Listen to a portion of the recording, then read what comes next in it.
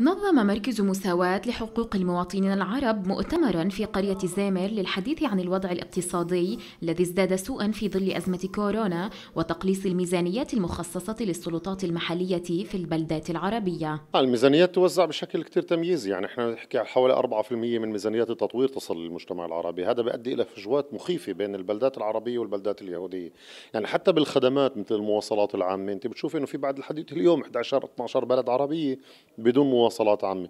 لما إحنا بنحكي عن الصحة نتيجة التمييز الممنهج في عندك عمر الزلمة العربي أقصر بعمر المرأة اليهودية اللي هي أطول عمر في, البلاد بثمان سنوات. يعني إحنا بنحكي نوعية الحياة وطول الحياة عند العرب أقصر بسبب الفروقات في أسلوب الحياة وفي الميزانيات المرصودة. لما نحكي على المناطق الصناعية خذي بلد صغيرة زي زيمر لما انت عندك بلد من هذا النوع موجودة بمركز البلاد اليوم بهاي البلد طالبين 500 آه، دنم لمناطق صناعية وتجارية. 500 دنم فيش عندنا هون أكثر من 150 فعمليا إحنا بنعرف إنه لما أنت عندك منطقة تجارية وصناعية من هالشكل ممكن توفر لك عشرات الملايين مدخول ذاتي للسلطة المحلية اللي بتقدر تقدم فيها خدمات للناس. تتضح الفجوة في انعدام خطوط للمواصلات العامة في أكثر من 12 بلدة عربية. عدا ما يخص تطوير الشوارع والبنى التحتية يشكو المجتمع العربي إجحافا مستمرا وتمييزا واضحا بحقه.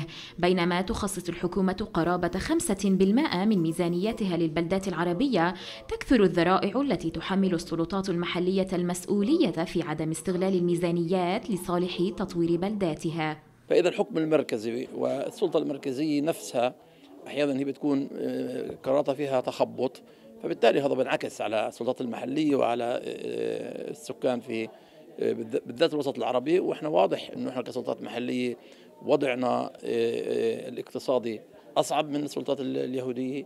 وبرضه سكاننا في وضع اقتصادي اللي هو كثير اسوء والإمكانيات إنه يقدروا يخلصوا الشهر ويقوموا بالتزامات البيت كثير أصعب آه، إذا مقارنة مع الوسط اليهودي وحتى المعاملة معاملة البنوك آه، سواء للأعمال أو للزبائن آه، فيها تفريق وفيها تمييز.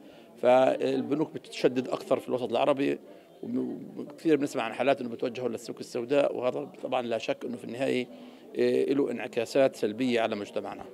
على الرغم من الأزمة الصحية الحقيقية التي يعانيها المجتمع العربي جراء أزمة كورونا، لم تجد الحكومة وسيلة فعلية للتقليل من معدل ارتفاع البطالة التي تزداد بشكل هائل، لتكون مشكلة المجتمع العربي تراكما للتمييز الممارس ضده اجتماعيا وصحيا واقتصاديا.